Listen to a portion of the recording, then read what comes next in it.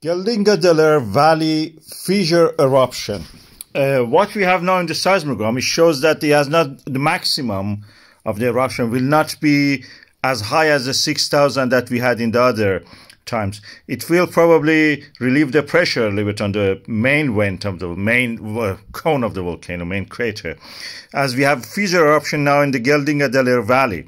I've I will show you now the latest video from that is uh, I've split it up eight times so you can see actually the extent of this. This is around uh, yeah uh, 40 meter wide and 25 to 30 meter high.